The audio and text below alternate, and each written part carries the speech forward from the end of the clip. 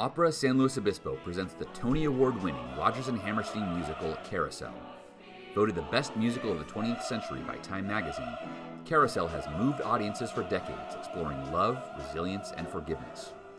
Featuring iconic songs like If I Loved You and You'll Never Walk Alone, performed by an acclaimed cast and full orchestra.